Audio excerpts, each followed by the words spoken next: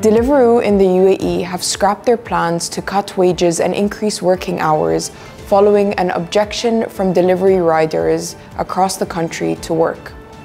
It was proposed that their payment per delivery will be reduced from 10.25 dirhams to 8.75 dirhams as a way of maximizing earnings in a competitive market, as they proposed a maximum working day of 14 hours, while they currently work two six hour split shifts with a one hour break. After listening to the feedback of their employees, they have decided that this is not the way that delivery riders would like to work in the UAE and have decided to not go ahead with the proposed changes.